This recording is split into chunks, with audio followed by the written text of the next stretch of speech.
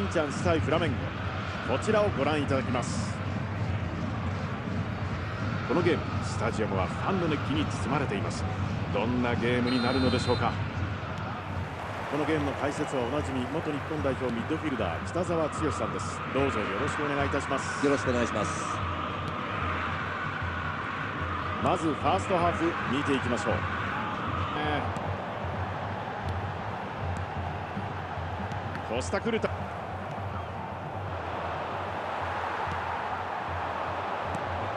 さて北澤さんこの試合で気になる選手がいたら誰でしょう？教えてください。そうですね。ミック・メニャンですよね。身体能力が高い。ベリンガムこのボールをカットします。おっとこぼれ球。コリンチャンスここまで相手を上回るポゼッションなんですけれどもまだ決定的なチャンスは訪れていませんまあ持たされてる感じはあるんですけど思うようにやらせていない相手を褒めるべきかもしれませんよね。ボールを握りながらどこかでギアを入れていきたいですよね。抜かせません。このボールはカットされます。グリーズマンからカントナ。ダービッツから左サイド。カントナ。メニャンおっと。うん中揃ってたんですけどもね。もう一度中。フォーデン。ベッカム。ここまでまだスコアレスの展開です。裏を狙う。さあドログバ。旗は上がっていません。どうだ？ドログバからフィル・フォーデン。さらに来る。いやー先制コリンチャンス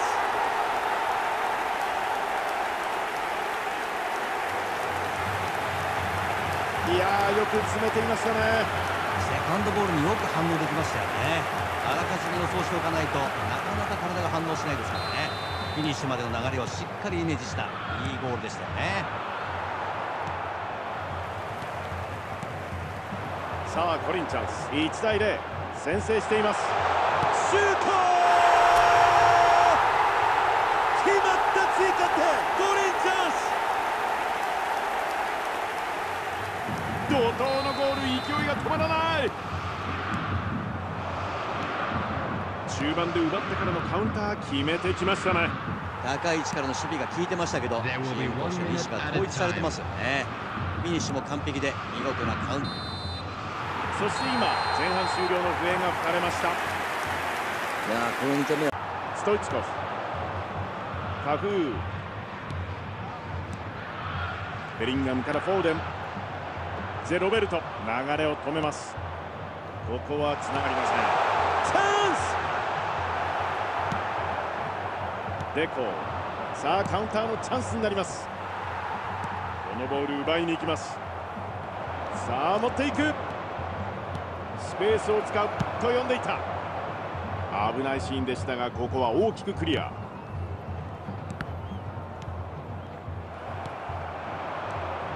インターセプトを狙う。デクラン・ライスカットに行きます。ストイチコフから右サイド。さあフォーデン。今のは抜かれていたらと思うと怖い状況でしたよね。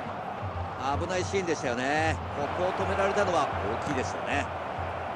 The attendance for this match was 71,898. ディフェンスこれを読んでいたここはクリア落ち着いて対応します。さあカントラ。切り込むか。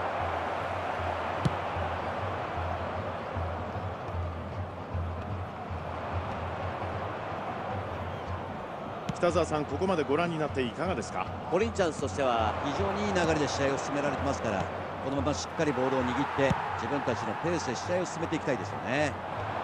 コリンチャンスカウンターを仕掛けていきますカントナからクライフスルーパスを出す。コリンチャンスここクリアで難を逃れます。ドログバからストイチコフ。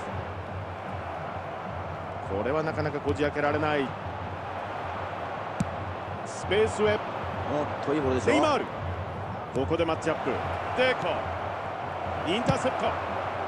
ここはシンプルにクリアします。これはファールではなかったようです。さあここでカウンター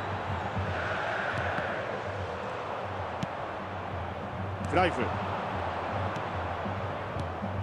メッシ。スルーパスを狙う。ここで受けて。ランヘディング！きたフラメンゴ！1点差まで追い詰めます。北澤さん今のゴールは中盤からのカウンターでしたがいかがでしょう？見事なカウンターでしたけど高い位置からの守備が良かったですよね。チームで連動してチャンスにつなぎましたよね。さあ決めたいところです。どうだ？あっと1対1対1シュート！こぼれます。ここは大きくクリアの対応。There will be one minute added time. ここでシュート！ポストに当たるこれもオフサイドのようです。